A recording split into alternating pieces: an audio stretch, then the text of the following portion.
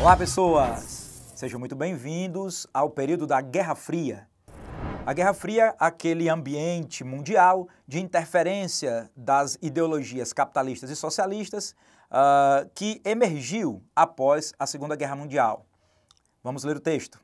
O esmagamento dos imperialismos alemão, japonês e italiano, o enfraquecimento definitivo de seus equivalentes francês e inglês, a decadência e ruína do colonialismo direto de modo geral, o surgimento do imperialismo norte-americano como potência hegemônica no mundo, o surgimento da URSS como potência mundial e seu domínio militar sobre a Europa Oriental e Central. Esse foi o mundo que emergiu da Segunda Grande Guerra Mundial o significado da Segunda Grande Guerra para o mundo, um dos grandes, eh, uma das grandes eh, heranças eh, dessa guerra é exatamente a, a emergência dessas duas potências, Estados Unidos capitalista, União Soviética socialista, e o desejo então de fazer uma influência no mundo de suas ideologias, né, competindo aí não só na questão ideológica, na questão uh, do que, como seria o, o, o, meio político correto, mas também nas suas influências econômicas, de consumo e mercado. Vamos ao comando. Após a Segunda Guerra Mundial, Estados Unidos e União Soviética foram peças-chave no processo de independência aludidos no texto, pois pretendiam, com a é, hegemonia dessas duas nações, Estados Unidos no capitalismo e União Soviética no socialismo, elas, elas acabaram influenciando diversas guerras em outras nações. Uh, na África há uma descolonização é, muito influente para que uh, as nações se tornassem independentes naquela área.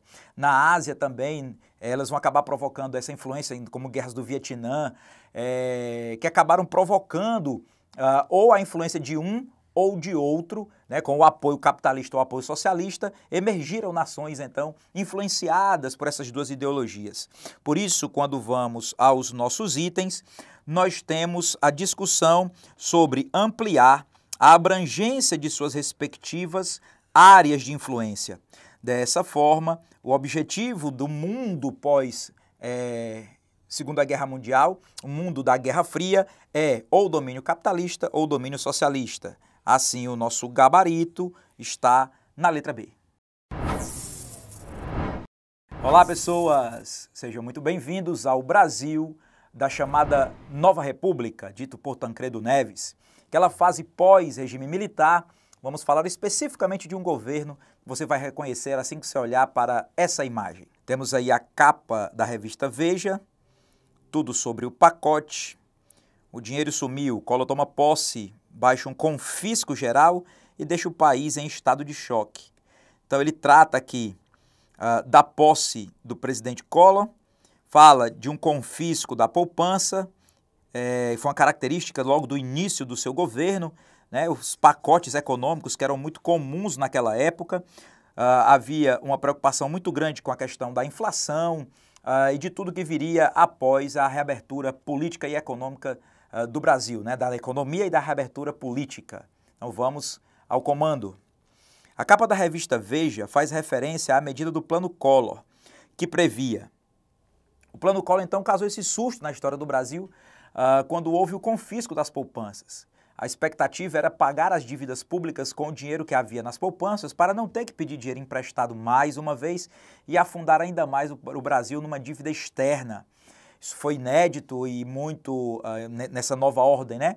Uh, pós-regime militar inédito e muito preocupante para a população que se viu uh, sem aquela poupança que havia guardado no banco. Quando nós observamos então os itens que fala de demissão de servidores, uh, não era a principal uh, referência que faz-se na capa, a capa fala desse confisco, nem a fiscalização sobre as importações, nem privatização, nem incremento de preços e salários. Você pode observar que a ideia do bloqueio da poupança temporário, porque esse dinheiro foi devolvido depois de um ano e meio, né, 18 meses. Então, a nossa resposta, ligado ao confisco da poupança, esse bloqueio, está presente na letra E. Olá, pessoa. Essa questão trata da vinda da família real para o Brasil, 1808. Ela vai representar as relações entre Inglaterra e Portugal, como diz no texto uma longa e duradoura relação de amizade de Portugal com a Grã-Bretanha, traz uh, a seguinte reflexão sobre essa relação. No contexto do bloqueio continental, a ocupação mencionada no texto está associada diretamente ao interesse da Inglaterra em. Você viu no texto e você lembra que o bloqueio continental ele foi uh, onde Napoleão não permitiu o comércio das nações europeias com a Inglaterra. E quando a Inglaterra protege a viagem de Portugal para o Brasil, ele tem um interesse. E esse interesse está nos itens que nós vamos ler. No caso da letra A, desestabilizar a política e a economia de Portugal. Não, Portugal e Inglaterra são aliadas. Portugal desobedece ao bloqueio continental exatamente por essa aliança com a Inglaterra. Expandir o território britânico em direção à França, no texto, muito bem você viu, ele trata é, do, da proteção que a Inglaterra tem em trazer os portugueses, em trazer a família real para o Brasil. Não há nenhuma relação com a invasão à França. Reparar antigas derrotas sofridas contra os franceses na letra C?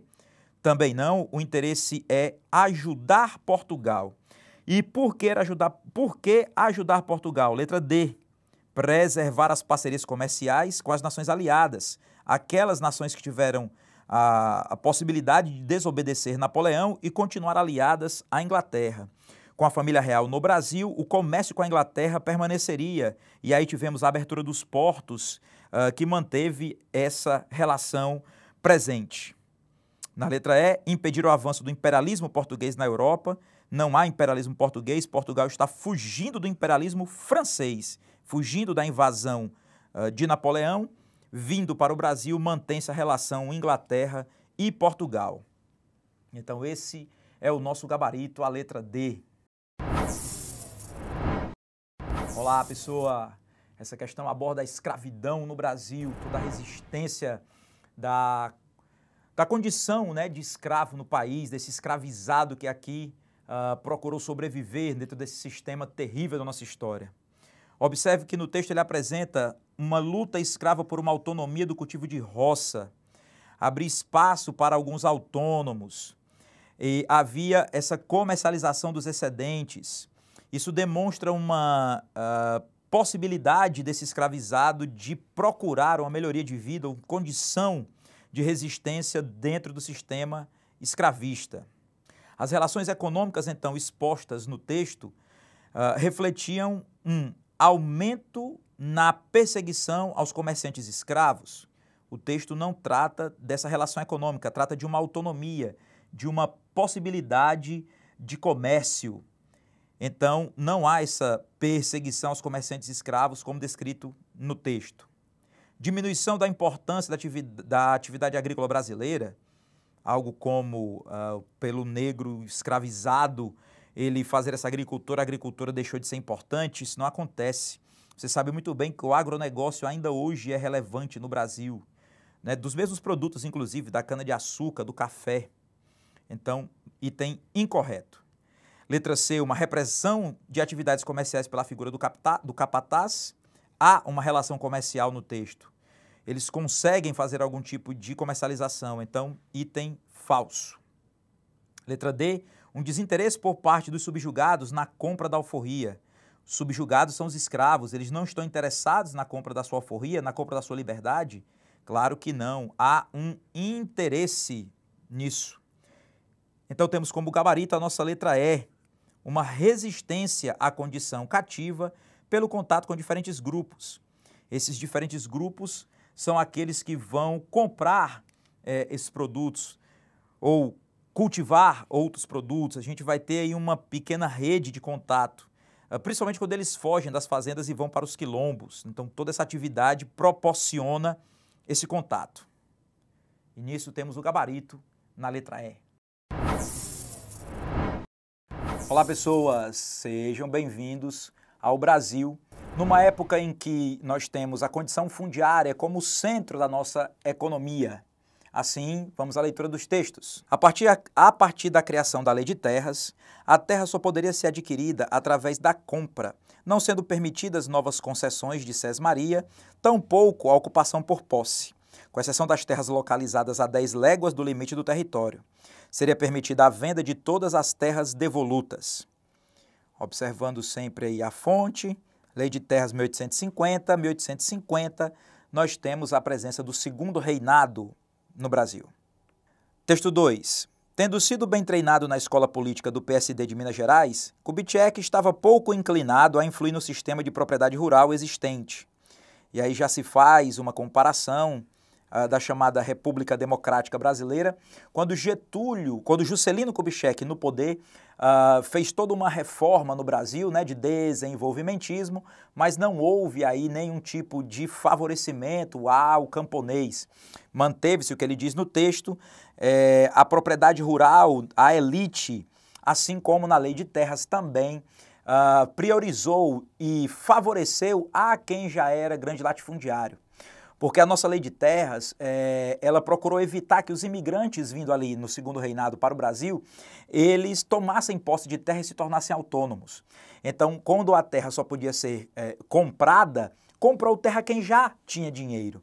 Né? E os estrangeiros assim não podiam fazer, e muito menos os escravos recém-libertos ou uma classe média daquele contexto. Não havia dinheiro suficiente para isso.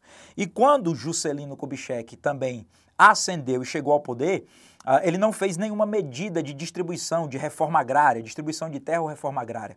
Ou seja, é uma característica da história do Brasil manter a terra como uma concentração fundiária. Dessa feita, vamos ao comando da questão. Com base na análise dos textos, pode-se perceber que determinadas ações dos governos brasileiros em relação à propriedade rural no Brasil apresentam uh, como resultado comum né, a questão da concentração de terra. Por isso, nós podemos observar já a diferenciação social, né? quem vai ser elite, quem não será, a partir da concentração de terras, acentuando no Brasil uma questão que é histórica realmente, a exploração e a miséria desse povo que não tem acesso a essas terras. Porém, portanto, na verdade, temos como nosso gabarito a letra B. Olá, pessoa! Essa questão uh, retrata o período do século XIX, começo do século XIX, e a chegada da família real e as suas relações com a Inglaterra. Observe no texto que houve uma convenção secreta assinada em Londres e que dessa convenção, você muito bem sabe, a Inglaterra foi um país que protegeu a vinda da família real para o Brasil. Família real esta, família de Dom João, que estava uh, fugindo da invasão de Napoleão em território, pelo fato da família ter desobedecido ao bloqueio continental. E nisso uh, havia uma preocupação tanto da coroa portuguesa como da Inglaterra em relação ao território brasileiro, pois é um território muito rico, com grande fonte de, de lucros. Dentro desse documento que foi assinado também, uh, havia uma preocupação de Portugal em relação à invasão a Portugal, se ele ia perder o comando desses territórios, e que nenhuma assistência também fosse feita a qualquer oficial francês, nem no Brasil, nem na Ilha da Madeira, porque a Inglaterra é que deveria ser esse país a ter as mais próximas relações econômicas uh, com Portugal. A Inglaterra deveria ter uma série de acordos que a favorecessem comercialmente. E você muito bem sabe que a Inglaterra uh, teve a, a, abertura dos portos uh, como privilégio de ter um porto exclusivo para ela, né? e o Tratado de 1810, no qual a Inglaterra pagava até mesmo menos impostos do que o próprio Portugal. Dessa forma, então, nós podemos observar uh, que, no contexto dessa transferência da corte portuguesa para o Brasil, o objetivo principal da Inglaterra seria qual? Claro que você sabe, obter maiores concessões desse território brasileiro obter concessões, obter mais privilégios. E isso aconteceu. O Tratado de 1810 é prova disso. Um monte de uh, privilégios de portos e de impostos que a Inglaterra teria. Então, não era de impedir a independência, a Inglaterra não estava preocupada com a independência, a família real aqui seria essa autoridade. Uh, a Inglaterra queria dominar o território português para povoamento, também não. O território estava sendo dominado pelos franceses, não havia o interesse da Inglaterra em povoar Portugal. Uh, Portugal seria independente de países europeus, Portugal não era colônia de ninguém, essa relação também é inexistente. Mesmo com a França dominando, o tratado com a Inglaterra era uma preocupação no Brasil, não na Europa. Ou romper relações diplomáticas com os portugueses, eles queriam era aproximar-se ainda mais dos portugueses para obter concessões no território brasileiro. Exatamente como diz o nosso gabarito, a letra C. Olá, internauta. A gente vai tratar agora sobre uma questão relacionada à geografia agrária do Brasil. A gente vai ter aqui uh, um infográfico, certo? Sobre a distribuição de terras no Brasil. Inclusive, quando a gente trata sobre geografia agrária, geralmente no Enem, a gente trata lei de terras, estatuto da terra, né, e distribuição de terras. Né? O Enem cobra demais essa questão fundiária né, relacionada à distribuição de terras, à reforma agrária brasileira. Perfeito? Então, voltemos aqui ao infográfico, quando ele trata sobre as seguintes informações. A gente tem uma pequena concentração aqui de terras é, relacionadas aos povos indígenas, né, representando a menor fatia. Né? É um país de propriedades rurais, né? essas propriedades rurais é, são ligadas a latifúndios, né? grandes extensões de terras, né? Ah, é, nas mãos de poucos, ah, de poucas famílias, poucos agricultores, poucas pessoas, né? Uh, e é a república justamente do latifúndio, como ele trata aqui, né, que concebem aproximadamente 40% da área dos imóveis rurais do Brasil. Né? Então, vamos a, a, ao comando da questão. Com base nesse infográfico, então, verifica-se que o fato de haver uma pequena porção territorial destinada às terras indígenas apresenta como uma das suas principais causas, né? Ele quer saber as causas. No caso, a destinação de áreas para urbanização. Na verdade, seria para a expansão da fronteira agrícola, que é um outro conceito né, muito cobrado no Enem. Essa alternativa, então, é incorreta. Distribuição de terras para pequenos agricultores. Não, está errada. Para é, grandes agricultores, no caso, a, os latifundiários, como dito há pouco. Então, essa alternativa é incorreta. A aplicação de leis conservacionistas às áreas florestais. A gente percebe que as áreas florestais, elas carecem, né, muitas vezes, de fiscalização. Não é nem a questão de boas leis, e sim é a questão de monitoramento dessas áreas, né? visando a conservação, o uso sustentável. Está incorreto também ocupação da maior parte do campo por médias propriedades. Como falado há pouco, são grandes propriedades, são latifúndios. Né? Ah, então, a alternativa correta aqui seria a E, concentração de terras em um número pequeno de grandes latifúndios. Né? Há essa concentração nas mãos de poucas famílias, né? de poucos agricultores, né? muitas vezes ah, eles detêm assim uh, um grande capital, né, um grande uh, patrimônio, né, com base nessas terras. Então, a alternativa correta é a E. Olá, aluno. Essa questão ela vai tratar sobre geologia, mais especificamente sobre abalos sísmicos. Vamos a ela. É, a gente pode perceber aqui no texto base e no mapa né, que houve um tremor de magnitude 7.1 né, no México e teve como epicentro ao sul da capital do país. Perfeito? Essa é uma zona, na verdade, de instabilidade tectônica, né? Pelo fato do México ele estar tá próximo, né, do, de um limite de várias placas tectônicas, né? Ele não está no centro de uma placa tectônica, o que, na verdade, configura como uma zona de estabilidade, né? E a gente pode perceber aqui nas alternativas, né, que aos constantes abalo, abalos sísmicos que ocorrem no México se devem ao fato de estar localizados justamente no cinturão ou círculo de fogo do Pacífico, né, que é limite entre placas tectônicas. Dessa forma, a alternativa correta é a E. Olá, aluno! Vamos tratar agora sobre uma questão que trata sobre exploração ambiental, né, exploração de recursos é, naturais e a sua preservação, né, esse binômio né, é, constante nos dias atuais. Vamos à questão. É, a questão ela vai tratar sobre o decreto de extinção da renca né, que foi assinado pelo presidente Michel Temer agora em 2017. Né? Uh, no caso, a renca originalmente não era uma área de proteção ambiental. Ela, é, ela foi criada para assegurar a exploração mineral do governo, mas com o passar dos anos acabou ajudando a proteger a região, né? onde vivem, no caso, algumas tribos, né? algumas tribos indígenas, e há uma grande concentração de cobre na região. Né? Houve uma polêmica relacionada a esse assunto, né? É, de um lado havia interesses econômicos, né, com a, a, o fim da renca para abrir os precedentes de exploração e do outro lado a gente tinha ambientalistas né, defendendo a preservação, a intocabilidade dessa, é, dessa área né, delimitada na época do governo civil-militar.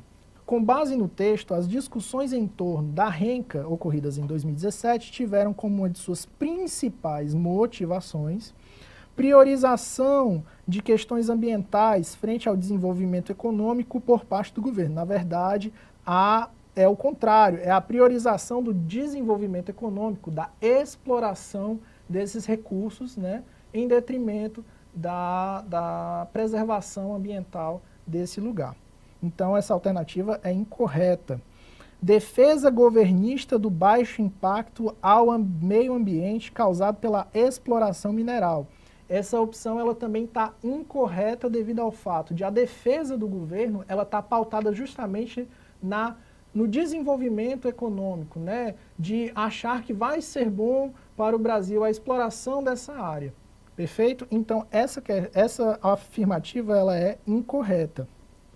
A alternativa C, preservação contra a exploração da natureza em defesa dos povos tradicionais. A gente vê que há uma defesa né, por parte de é, setores, né, atores sociais ligados aí à preservação ambiental, à intocabilidade desses recursos. Né? Daí é, suscitou essa, essa, essa polêmica, essa discussão. Né? Então, quando a gente vem aqui para as alternativas, a gente pode perceber, inclusive, a D e a elas, pod, elas fazem parte mais ou menos do mesmo campo. Né, ó, exploração sustentável defendida por ambientalistas de base conservacionista.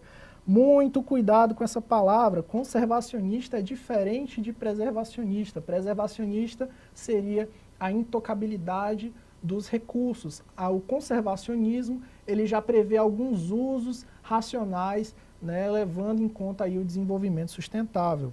Né? E, a, e a E também ela fala busca dos indígenas pela exploração econômica sustentável da reserva. Na verdade, os indígenas eles querem também, assim como os ambientalistas, a preservação desse lugar. Então, a alternativa correta é a C. A questão a seguir ela vai tratar sobre impactos ambientais relacionados ao aquecimento global. Vamos a ela. É, o texto base ele fala sobre o impacto dos recifes de coral, né, é, em decorrência das mudanças climáticas, né, ah, no caso do aquecimento global. E o motivo?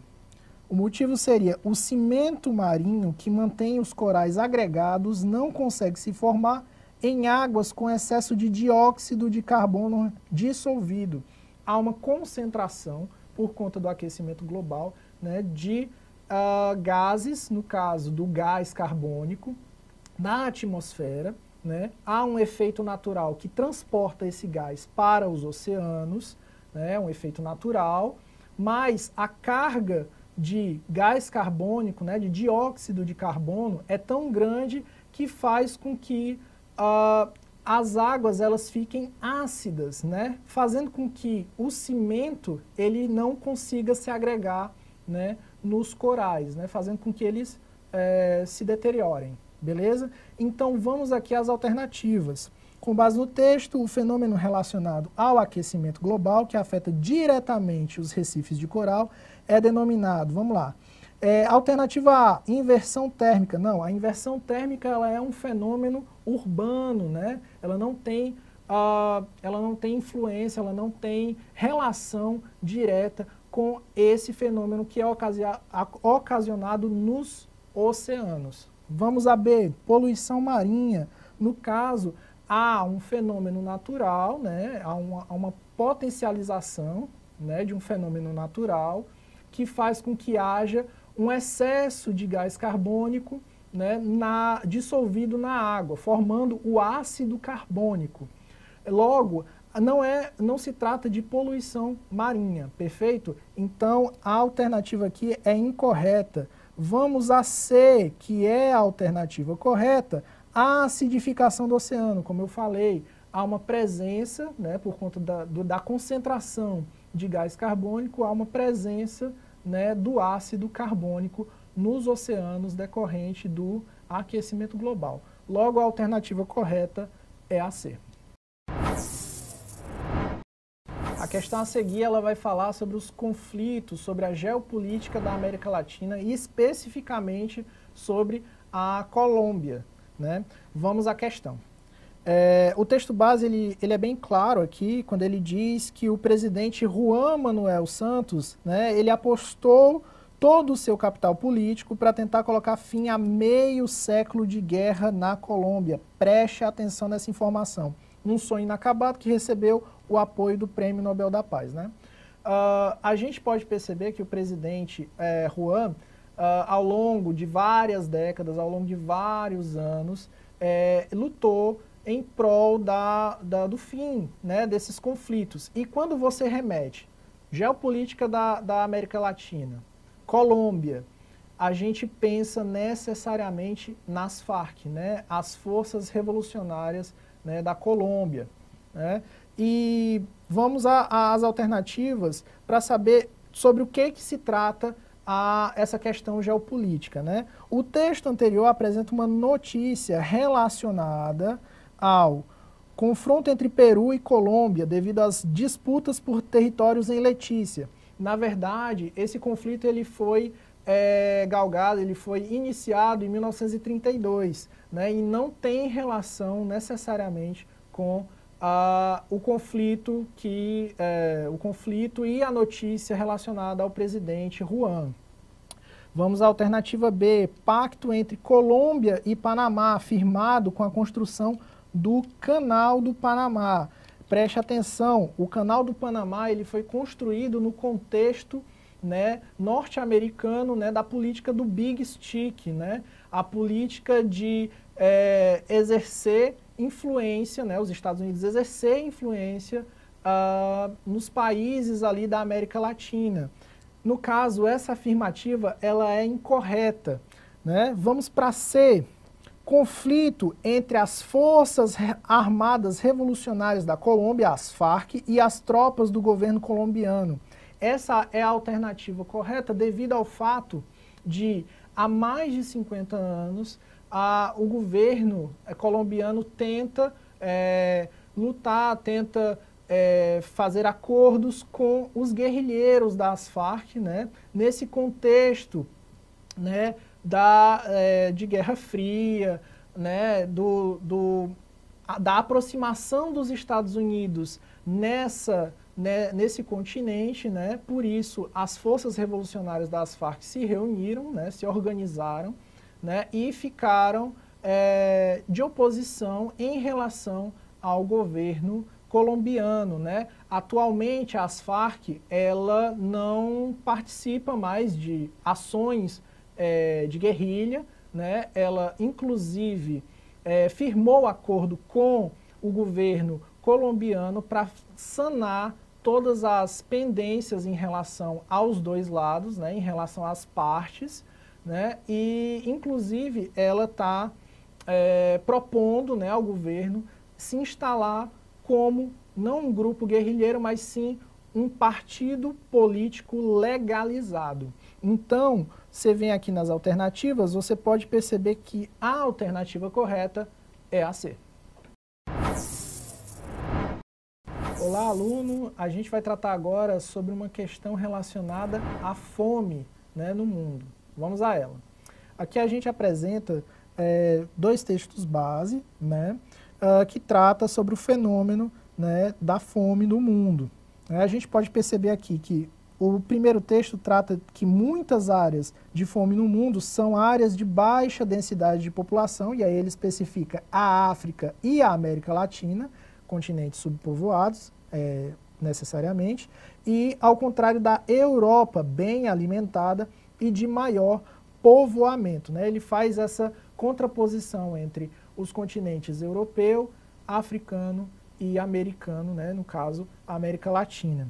Já o segundo texto, ele vai tratar sobre um estudo publicado pela FAO, né, que pertence à Organização das Nações Unidas, e aí ele mostra que a produção mundial de alimentos é suficiente para a demanda de 7,3 bilhões de pessoas que habitam na Terra, né, no quantitativo que eles é, aferiram durante o estudo. Apesar disso, aproximadamente uma em cada nove pessoas, né, dessas pessoas, ainda vive a realidade da fome. Ou seja, a gente vai tratar, quando a gente trata sobre fome, a gente trata o aspecto de distribuição né, dos alimentos né, em relação às pessoas, ao quantitativo de pessoas né, nesse, nesse, é, nesse contexto. É, então, uh, vamos às alternativas aqui. Uh, de acordo com os textos, uma das formas de combater a fome no mundo é, seria alternativa A, aumento da produção de alimentos em uma velocidade superior da população. Lembra muito as ideias malthusianas relacionadas ao aumento da produção de alimentos em detrimento do aumento da população. Né? Já a alternativa B ela diz o seguinte: redução do crescimento populacional em áreas com alta densidade demográfica na verdade, é, essas duas ideias elas estão conectadas no princípio lá do malthusianismo, né, de diminuir a população, né, só que no caso ele referencia erroneamente em áreas de alta densidade demográfica, né, na teoria dele seria de diminuir a população das áreas né, africanas, né, da América Latina, dos países ditos pobres, né, então, mas essas duas alternativas elas estão incorretas, embora estejam no mesmo campo de ideias, né? Vamos a C, escoamento da produção mundial de alimentos para as áreas mais povoadas. Na verdade, deveria ser para as menos povoadas, né? Esse escoamento da produção de alimentos, né?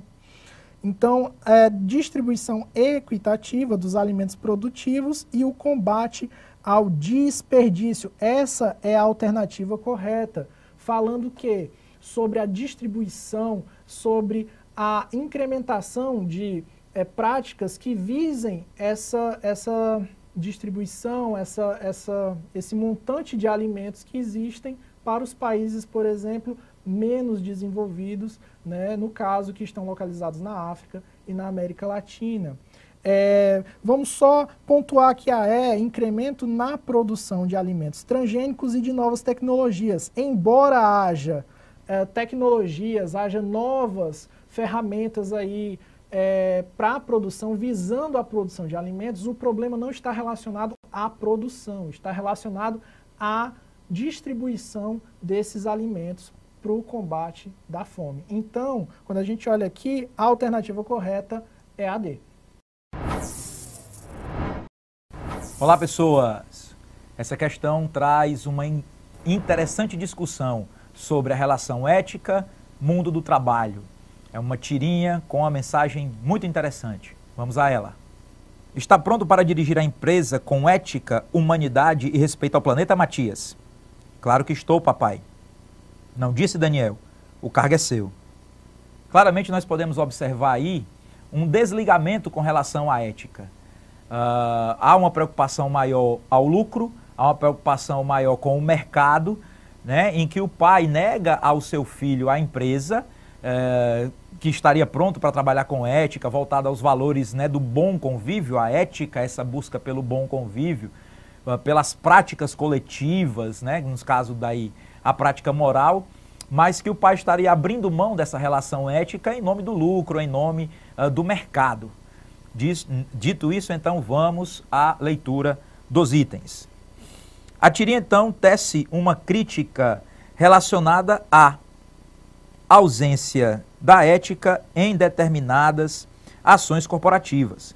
a busca pelo mercado é maior do que a busca pelo bom convívio, a busca pelo que é uh, a coletividade, né, que seria então essa definição aí da ética. Dessa forma, temos então o nosso gabarito, a letra A. Olá, pessoas. Nessa questão, a discussão é sobre a transição do mito para a razão filosófica. Observemos a imagem. Então, Sócrates, você é um filósofo, certo? Certo. Que ótimo, pois eu sou Deus e possuo várias respostas para suas perguntas. Que bom, pois eu possuo várias perguntas para a sua resposta.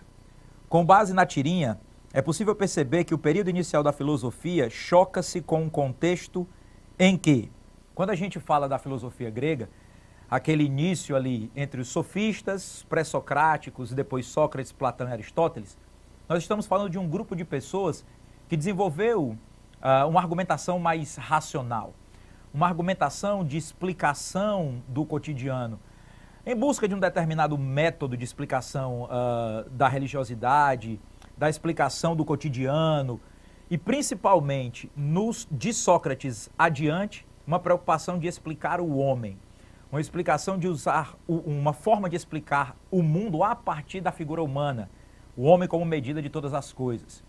Então, a gente pode entender que os filósofos, eles rompem com as explicações mitológicas. Eles rompem com as explicações mágicas e religiosas que aconteciam anteriormente.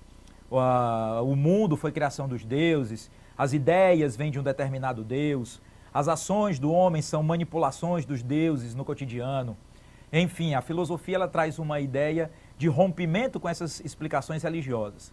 Como diz na tirinha, Sócrates tem uma série de perguntas a Deus porque ele não aceita mais as explicações mitológicas, mágicas. Ele quer explicações racionais, o homem como medida de todas as coisas. Indo aos nossos itens, podemos perceber que o período inicial da filosofia choca-se com um contexto em que, qual é o contexto? a explicação do mundo era baseada na fé em detrimento da razão. Então, o contexto da época era quando a fé explicava o cotidiano uh, além da razão, mas Sócrates chega com essas perguntas, né? colocando o homem como a medida de todas as coisas. Dessa forma, então, a nossa resposta correta é a letra C. Olá, pessoal, tudo bem? Vamos discutir mais uma questão de filosofia, dessa vez uma que fala do pensamento do grande Michel Foucault. Uma questão que começa com o seguinte texto: O homem ocidental aprende pouco a pouco o que é ser uma espécie viva num mundo vivo, ter um corpo, condições de existência, probabilidade de vida, saúde individual e coletiva, forças que se podem modificar e um espaço em que se pode reparti-las de modo ótimo. Pela primeira vez na história, sem dúvida, o biológico reflete-se no político. O fato de viver não é mais esse sustentáculo inacessível, que só emerge de tempos em tempos, no acaso da morte de sua fatalidade. Cai em parte no campo de controle do saber e de intervenção do poder. História da Sexualidade, volume 1, A Vontade de Saber, Michel Foucault. A questão pede para a gente. A reflexão do filósofo, citada anterior, anteriormente, refere-se a que conceito? Intelectual universal, vontade de verdade, antropocentrismo, experiência ou biopoder. Pessoal, a letra certa vem a ser a letra E de escola. Michel Foucault, quando fala que o homem ocidental ele passa a viver no mundo onde ele aprende que o corpo agora atende a condições de saber e de poder, é exatamente aquilo que nós encontramos no conceito dele de biopoder. A partir dos séculos 18 e 19, o Estado moderno havia lançado bases que se consolidam com a burguesia nesse momento. O corpo agora tem que ser vigiado, controlado, de dentro para fora, sob o medo de não estar mais seguindo as regras que a nova moral, a nova ética puritana principalmente estabelecem. Tudo isso vai fazer com que esse homem passe a abdicar da liberdade, inclusive com o seu corpo, que até então ele possuía. Esse é o pensamento de Michel Foucault, que diz ainda que existe um controle constante na, nos corpos e nas mentes, um verdadeiro panóptico. Dessa forma, pessoal, Michel Foucault, um grande pós-estruturalista, critica e condena todas essas formas de poder. Ok? Então, repetindo, na questão a resposta é a letra E de escola, biopoder. Olá, pessoas! Nossa questão agora faz uma reflexão sobre o chamado mundo do trabalho, muito presente nas discussões uh, da sociologia. Vamos à leitura. No passado, o escravo era visto como um bem material que deveria ser minimamente preservado. Era mais caro comprar um novo escravo do que manter suas condições mínimas de sobrevivência.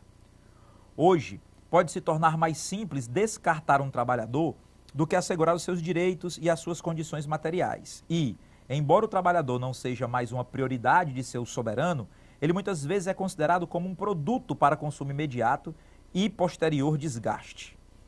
Um texto bem interessante de trabalho escravo contemporâneo no Brasil, ligado aos movimentos sociais. Vamos então ao enunciado. Com base no texto, o trabalho escravo contemporâneo contraria méritos diferenciados entre os que são ou não são abrangidos pela legislação, possibilidades de empregabilidade para trabalhadores com baixa escolarização, unilateralidades das, nas negociações entre empregadores e empregados, direitos humanos centrados na valorização da pessoa e de sua dignidade, consequência da pobreza e da riqueza existentes em qualquer sociedade. Podemos observar que a questão trata uh, do trabalho atrelada a uma ideia de direitos humanos, porque o escravo antes não era visto como humano, ele não tinha direito sobre si mesmo, e, é, ironicamente, exatamente por isso, ele não deveria ser descartado, porque ele é esse objeto que deve ser mantido uh, para que não houvesse gastos com o escravo novo. Quando o trabalhador se torna dono de si, ou seja, a liberdade, aí ele passa a ser descartável, porque garantir os seus direitos é muito caro. Mantê-lo passa a ser muito mais caro do que descartá-lo. Então, essa contradição aí em relação ao mundo do trabalho, em que o trabalhador ele é visto como um descarte, como diz o final do texto. Se eu puder e tiver a oportunidade de descartar esse trabalhador, o farei não levando em consideração né, a sua dignidade humana. Por isso, observando os itens, ele fala de méritos diferenciados entre os que são ou não são abrangidos pela legislação. Ele fala de mérito. Não, não há mérito. Entre escravo e trabalhador livre, não é uma questão de mérito. Empregar trabalhadores com baixa escolarização também não, não está ligado às condições uh, de escolaridade. Na letra C, unilateralidade das negociações entre patrão e empregado uh, seria uma discussão em relação ao poder de cada um. Também fala, faz uma comparação entre trabalhadores livres e escravos. No item E, consequência da pobreza e da riqueza, a reflexão não trata disso. A nossa reflexão na questão é como os direitos humanos, centrados na valorização da pessoa e na sua dignidade, entende que o trabalhador de hoje é mais descartável do que um escravo na antiguidade. Desta forma, temos em nosso gabarito a letra D. Olá, pessoas! Nossa reflexão agora é sobre ideologia. Vamos à leitura do texto. Ideologia é toda a crença usada para o controle dos comportamentos coletivos, entendendo-se o termo crença em seu significado mais amplo, como noção de compromisso da conduta, que pode ou não ter validade objetiva. O que transforma uma crença em ideologia não é a sua validade ou falta de validade, mas unicamente sua capacidade de controlar os comportamentos em determinadas situações. Esse foi o texto 1. Texto 2, temos aí um quadrinho, uma tirinha da Mafalda. Ela mede aí a, a dimensão, o diâmetro da sua cabeça e diz: será que aqui cabe tudo o que vão me meter na cabeça? Observe que os dois textos apresentam essa noção de controlar o comportamento, ou seja, determinar as situações, e quando você vai ao quadrinho também a ideia né, de imposição. Vamos ao enunciado. A relação entre os dois textos permite a compreensão de ideologia como um elemento que a uma abrange relações de poder que são incorporadas pela sociedade. Nós podemos notar que o conceito de ideologia é bem amplo. Né? Geralmente se fala de um conjunto de ideias, mas esse conjunto de ideias não é simplesmente uma reunião uh, de argumentos. Essa ideologia é algo, algo impositiva, ela traz um conjunto de ideias que direcionam, moldam ou determinam o comportamento das pessoas. Uh, as críticas à ideologia que apareceram na sociologia uh, falam de, dessa dominação, que a ideologia estaria sempre uh, a favor do Estado ou a favor das classes dominantes, controlando o comportamento, então, é, da população né, em geral. Por isso, voltando a os itens, ele fala exatamente dessa relação de poder, que são ó, poder que é incorporada pela sociedade. A sociedade aceita é, essa, esses, essas ideias né, como verdadeiras porque elas estão sendo ditas por instituições ou pela mídia, e nisso então ela segue o seu caminho. Essa questão da imposição é o que nos leva ao item correto, logo de cara, o nosso gabarito, letra A. Olá, pessoas! A questão agora traz uma reflexão sobre as lutas sociais. Vamos à leitura. As redes, por serem multiformes, aproximam atores sociais diversificados e possibilitam o diálogo da diversidade de interesses e valores. Ainda que esse diálogo não seja isento de conflitos, o encontro e o confronto das reivindicações e lutas referentes a diversos aspectos da cidadania vem permitindo aos movimentos sociais passarem da defesa de um sujeito identitário único à defesa de um sujeito plural. Algumas palavras interessantes aqui é, atores sociais diversos, diversificados dentro dos, das lutas de movimentos sociais.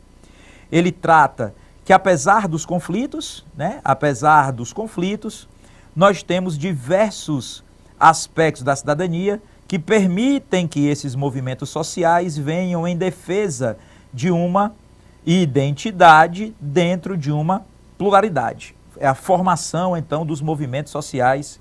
Vamos ao enunciado. Com base no texto anterior, o surgimento dos movimentos sociais, de forma geral, tem como motivação direta necessidade de reconhecimento dos direitos de grupos com condições específicas, desenvolvimento de uma igualdade social permitido pela evolução plena da sociedade, fim da opressão social realizada por grupos sociais considerados dominantes, tensão social causada pela interrupção dos direitos básicos das minorias, homogeneização dos objetivos das classes menos favorecidas. Dentro dos itens você encontra a, a formação dessas lutas sociais que nada mais ocorrem pelo fato de que as minorias de direito, ou seja, as pessoas que se identificam enquanto grupo, me, grupos, mesmo sendo plurais, são plurais em seus objetivos, mas se encontram dentro de uma mesma condição de minoria de direitos, se organizam em nome dessa pauta plural. Né? Essas identidades se organizam em cima dessas pautas em busca dos seus direitos que, para os estudos são uh, de controle do Estado, de controle da classe dominante, que pauta as suas ações políticas para si, para os seus grupos. Então, esses grupos menores que não têm é, direitos uh, adquiridos, eles vão à luta. Isso está expresso no seguinte item. Há, então, uma necessidade de reconhecimento do direito dos grupos com condições específicas. Cada um tem né, um tipo de condição. Há pautas múltiplas de luta, mas há também uma necessidade de que esses grupos sejam reconhecidos dentro dos seus direitos. Não há uma busca por uma igualdade social com evolução plena da sociedade, isso ainda é um processo. O fim da opressão é, por grupos sociais dominantes não é uma questão de opressão direta, é uma falta de direitos. Não há uma interrupção dos direitos básicos, porque esses direitos ainda não foram adquiridos, e nem todo mundo quer a mesma coisa, como é o caso da homogeneização. De acordo com o texto, com base então nesse texto, nós temos que entender que há essa pluralidade, por isso são vários grupos, em busca de uma pauta única, trazendo para nós como resposta correta a letra A.